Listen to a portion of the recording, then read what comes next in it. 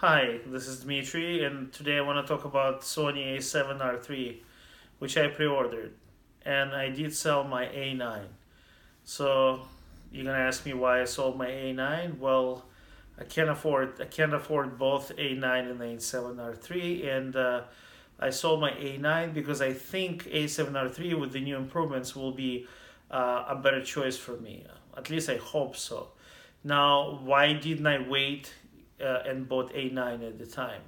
Well, A9 at the time was a revolutionary camera with the incredible autofocus and uh, you know the fast uh, shutter speed, the far fast uh, 20 frames per second, and uh, you know the new battery and everything else. Uh, now, had A7R3 came out at the same time with A9 for you know $1,200 more and with uh, improved autofocus and improved battery, I probably and 10 frames per second with mechanical shutter, uh, it is likely I would have chosen A7R3 at the time uh, for cheaper than A9. But uh, you know, because the problem with A7R2, uh, the two main problems were a the autofocus tracking, uh, which sucked, and still sucks. And number two, the battery life, uh, which is uh, atrocious on that camera. I had to carry six or seven batteries at all times. You know, the battery would last for 150 shots, no more than that, which is uh, problematic. And, uh, you know, people say, well, just carry a lot of battery and change them all the time.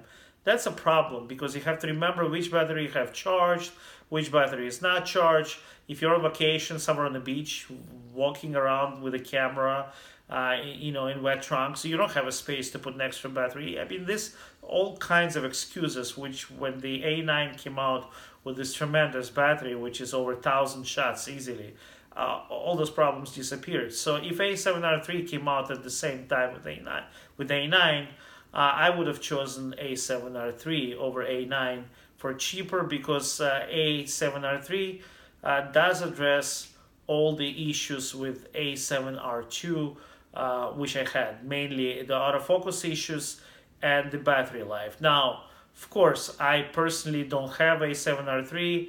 Uh, I, I don't know if the autofocus is that much better, but uh, uh, I will find out when I get my A7R3 at the end of the month, hopefully. And I'll obviously post a video. I will test it. I will test it with my Sony lenses. I will test it with my Canon lenses and I'll let you know what I think once I get it. Thank you.